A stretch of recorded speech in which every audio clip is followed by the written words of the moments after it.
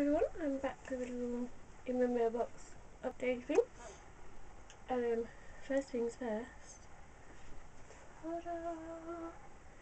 Finally got a new bookshelf at CMC.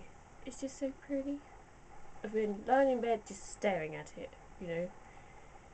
So I've already got another bookcase in the spare room which is bulging and I've got bookshelves everywhere already.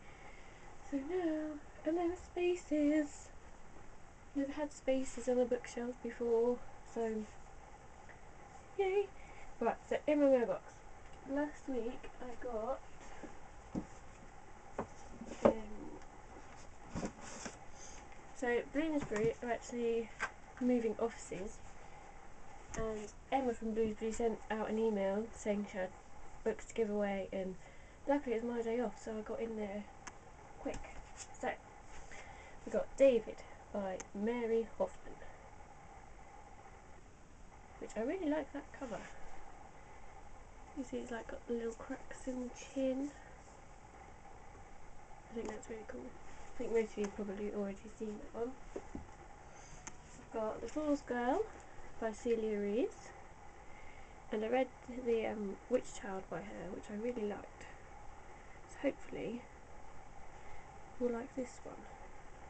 It's about a girl called Violet that lives in London and um, she's got to receive, retrieve some treasure. That one. Got Vicious Little Darlings. That's by Katherine Easer.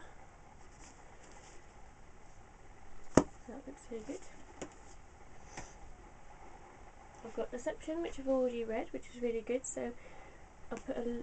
I haven't written the, the review yet, so I'll have to write that soon. And at the moment, if I can find it, I'm reading Betrayal, which is the second in the Haunting Emma series, which is by Lee Nichols.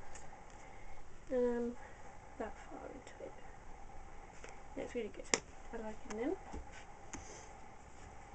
and I've got After Obsession by Carrie Jones and it's also by Stephen E. Weddle as well. And I really like this cover and it seems the thing that she likes to do is this gold and black so other series, the Need series, I don't know if you can see, they're all gold and black. I think that's really lovely. So I've got that and from Pan Macmillan I've got Dark Inside which I so can't wait to read. It looks so good. It looks really nice. I don't know if you can tell. I didn't notice this at first either. But you've got faces. I think that's really clever. And you've got those. I've been super good. Haven't got any books this week. But I'm going shopping today, so a few might find my way back here with the new shelf. And if you haven't already checked it out on my blog, I'm going to give away some handmade bookmarks at the moment. I've got a butterfly one, I've got stripy, I've got one I printed up, I've got spotty one, um, and it's international giveaway. So if you fancy some bookmarks, then head over to my blog. I'll put a link down below. Um, so yeah, go check out my blog. It's cool. It's nice. Even though I haven't had time to update it recently, but still go, it's, it's nice. And I'll be having a book giveaway soon. Already packaged. What is it? You'll have to wait and see. Yeah, and look, they're for an envelope. So yes, I think that's everything.